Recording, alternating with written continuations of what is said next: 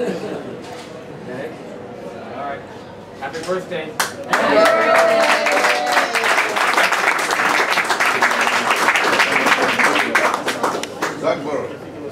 Oh yeah, now I just want to say one last thing in conclusion.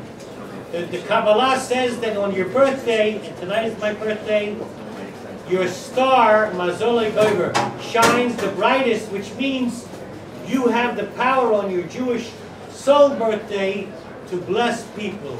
I want to bless everybody here and everybody who's listening, that God should give you the blessings of the highest success beyond your highest estimate of yours, what you think it should be your success. God bless you all. Amen, amen, amen.